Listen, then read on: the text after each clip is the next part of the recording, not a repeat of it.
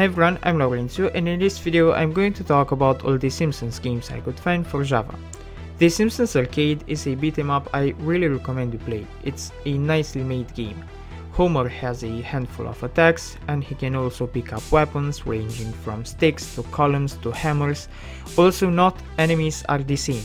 Some dash at you, others just punch you or kick you or use boomerangs or other weapons. There is a nice amount of different enemies and the boss battles, well each one is unique. Each boss does his unique stuff. And in some sections you can even use Bart to your aid. Or Lisa, which act like power-ups. Throughout the levels are medallions with Bart's or Lisa's face and when you interact with them, well, you activate Bart's power up or Lisa's power up and they are cool. The level designs are top quality stuff for a Java game, the backgrounds are animated and chock full of details, and the remaining aspect to discuss are the controls, which are spot on and responsive. I recommend you play this game. If you are into Java games, then this game is a must play. Don't waste any minute without having played this game. It's awesome.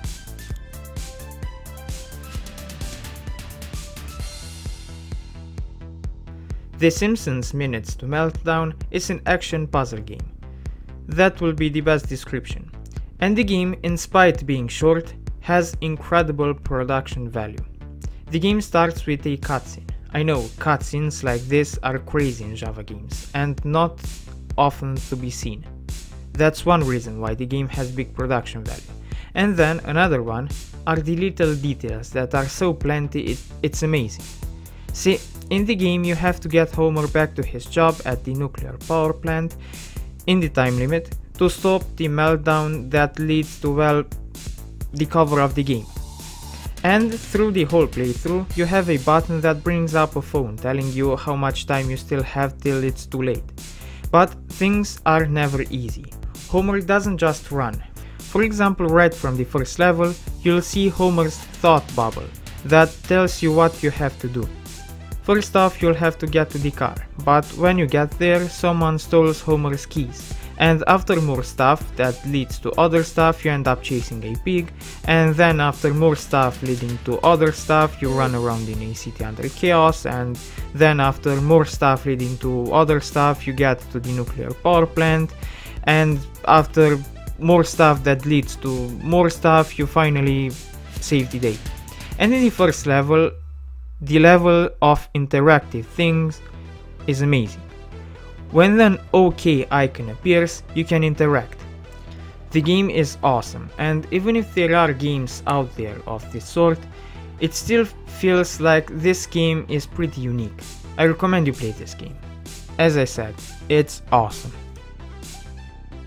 The Simpsons Itchy and Scratchy Land is another Monster Java experience. The game is an action adventure, you get some big spaces to roam and have to solve puzzles and even if the exploring is done with Homer, you will also play some mini-game like parts with Bart that slingshots enemies or with Marge that can vacuum. She can draw enemies into traps or she can propel objects to damage enemies. And Homer throws his bowling ball to solve stuff. This game is again a masterpiece, just like the other two games.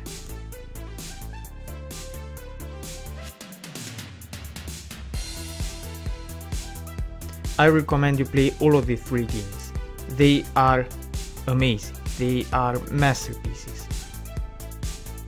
Okay, so this was the video. If you liked it, please hit the like button and subscribe. If you want to support me in my pursuit to review as many video games as possible, click the join button and choose one of the perks.